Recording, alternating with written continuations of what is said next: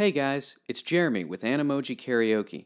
I've been getting a lot of questions about how to make Animoji videos with the white background, so I've decided to make a tutorial on how to do just that.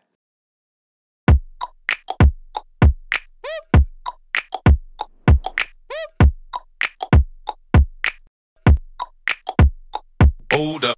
It appears that somewhere along the line, Apple released an update to the software making Animoji videos export with a black background instead of the original white background.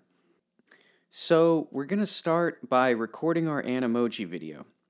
I'm just going to record a simple one here, um, and once I'm finished recording that, I'm going to text it to myself. Typically, you would airdrop the video, uh, however, that sends the original file, which has the background as black.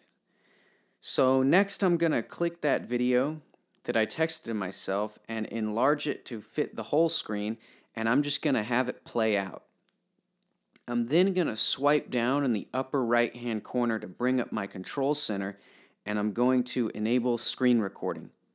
The next step is to let your video just play out and have the screen recording capture the entire clip you want to use.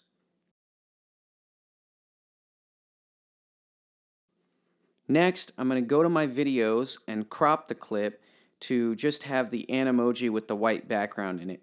If you click the video, it's going to play back with the black background, so you want to uh, have it play out with that information uh, on the top and bottom screen, and we'll just crop that out later.